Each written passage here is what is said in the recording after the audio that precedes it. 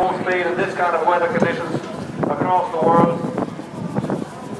Places like Malaysia have been wet in the past, not quite as narrow as this. Here, Now, watch this now. He couldn't get the MP4 around. What'll he do to get this car around? Well, they're waiting for him here. Let's see if he can spin it around. Oh, I think there's the answer for Jenson Button for the James Street Massive. They'll be delighted with that, but certainly no problem.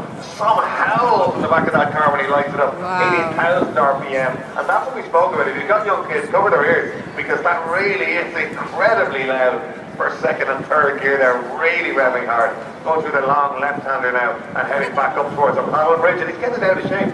Incredible, John, that with these tyres and full downforce, he seems to be able to just light up the back wheels whenever he wants. Huge power. He's going to spin around. There he goes.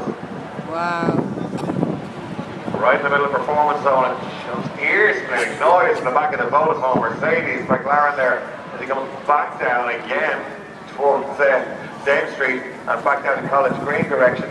Round this right hander, a little bit gingerly perhaps going through there, John. Yeah, he's got used to it first time around. Let's see how he does it. Second time as he goes, takes this very tight left-hander hairpin. Again, he's just gonna throw the back of the car around. There he goes. Just overcuts it a little bit, but no corrects it.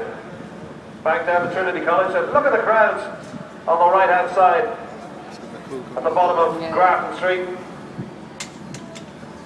To see the, nine, the 2009 Formula One World Champion. Resides in Monaco, made his debut in 2000 at the Australian Grand Prix. It's a circuit he likes. He's won already this year in the McLaren. Canada, as we mentioned, is next week. He really is lighting it up every chance he gets. Here we go again, a little bit of straight. The back end moving around, squirming and wheel spinning there. He feeds the power in. Great sound from Mercedes uh, engine. Smiling faces in the crowd. All sorts of phones being held up in the air. It's just all big up to that drift there again. He only has to touch that right pedal on the back of the car. The noise,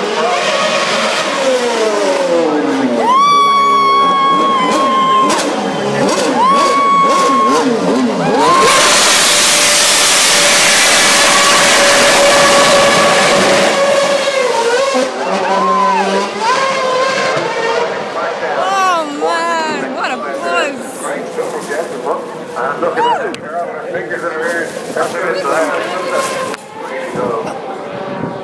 Oh wow. So far, so to come back for a second one. He's come back, is he? He's come back. Huge crowd both sides. He's coming back. Watching this McLaren. Down through that narrow, bumpy section.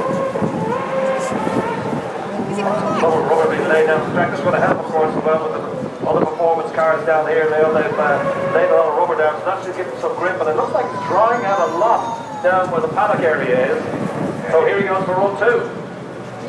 Spinning the car around beautifully now and launching that McLaren, the Vodafone McLaren, back up uh, towards the on the quays again towards Footbridge. Great stuff. And the sound of the Mercedes engine is absolutely fantastic. Look at all the really waving, leaning out over the barriers. What a show, John, in the centre of Dublin. Yeah, don't forget, we do have another Formula One car to bring you in a while. That'll be the Caterham Lucrino Van der Garde, their test reserve driver.